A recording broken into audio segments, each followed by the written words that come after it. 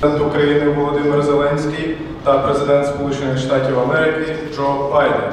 Форматі тет-а-тет, а потім в розширеному форматі. Це була розмова, яка дійсно наближає нашу спільну перемогу в цій війні. Нашої держави, так усієї Європи і всього світу. З нашими союзними партнерами маємо надалі робити абсолютно все, все можливе, щоб демократичний світ виграв у цій історичній битві. І цей перший за 15 років візит президента Сполучених Штатів.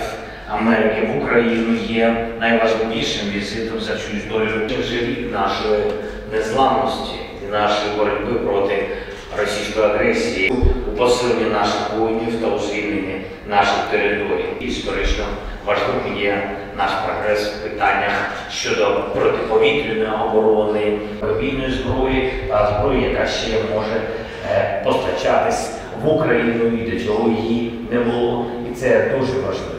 І саме зараз такий вагомий пакет є однозначним сигналом і нужно зміцнимо імпульс до нашої перемоги. І сьогодні ми ще раз е, зафіксували, що маємо спільне бачення щодо подальшого розвитку подій і перспектив у цій війні. Завдання відновити повну силу статуту ООН. Край важливим є питання відновлення справедливості і для усіх тих, хто постраждав російського терору, від цієї агресії, від цієї війни. І напередодні 24 лютого затвердження цієї резолюції стане найкращим свідченням